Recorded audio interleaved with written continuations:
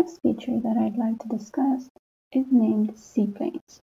So it's very similar to named views, but it's uh, much more important and much more powerful. So we start similarly as we did with named views and a common prompt we type named named CPlane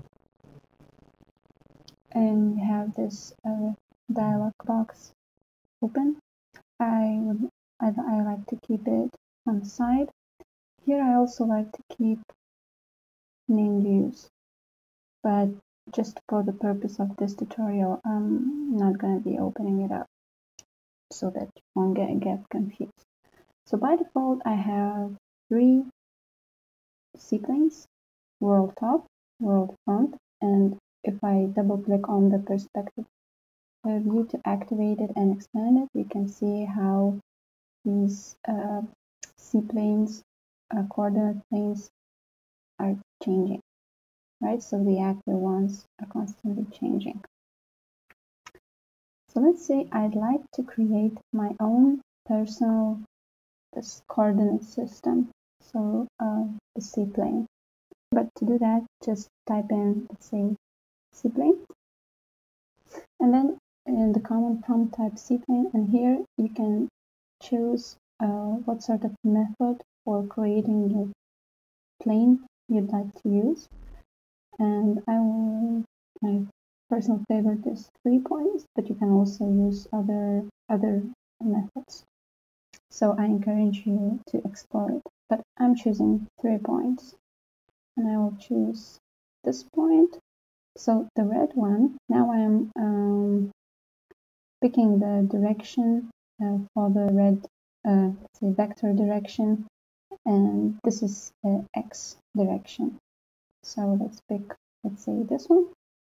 And for the y direction I'm picking this point. So we're picking three points which is origin x direction and y direction. So now I have my CPlane and let's say I want to save it and use it many times later on so just before saving it, I want to um, show you that so this newly created CPlane, which I which I have just created from three points, is uh, shown to us as a grid. Uh, meanwhile, the actual active CPlane, um, which is saved, is is being shown as three arrows. It's like world, uh, this axis. So if uh, if I save the CPlane now, let's say save as, let's say custom CPlane.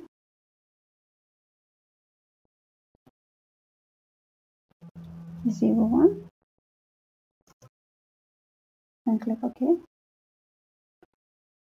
So now we don't have activated CPlane in sense from our list. As you can see, we don't have these small arrows anymore. But if I select this one newly created one to be active one, I can see these three arrows representing the, the X, Y, Z directions of the CPlane. So now I have my custom uh, CPlane. Similarly to the name views, you can also open the, the tab over here. Uh, so let's see. Name CPlanes over here next to name positions, name views. So this is a name CPlanes, but as I mentioned before, I, I prefer having it on the side. So let's say on this CPlane, now I would like to create some geometry. So I would go to the center a circle. So it's on the side these uh, tools on the side. And I will just create a circle. And then I'd say I want to orient it on another another CPlane which I'm going to create. So I would create new CPlane again from three points I'm saying I'm gonna select uh, this and this I have this one. And um, on my main CPlanes tab, I click Save As and select change the name, select instead of one. So I have now my two CPlanes, customized CPlanes. So what I want to do from this custom CPlane 01, I want to orient it to, I want to orient the circle to custom CPlane 02. How I do that? So first I need to make sure that my active CPlane is the origin one, the, the one that I begin with, initial one. I select geometry that I want to orient, that I want to transform.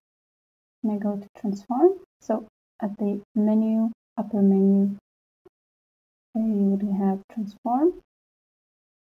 And you go to orient and then choose remap to CPlane. Let's choose that. And on common uh, in common prompt, uh, there's some settings you can select. It says click on CPlane to map to, so the destination or target CPlane. Do I want to copy the geometry? No, I don't want to copy it. And I want to select the CPlane. And now when I select that I am I want to orient to the CPlane, it says name of CPlane to map to. And here, then using this list on your right, you can choose another CPlane to map to. So just double click on this custom CPlane 0.2. And there you go. So let's go back to the world top CPlane we have our circle gate geometry oriented. So this is actually a quick introduction to the world of uh, CPlanes within Rhino.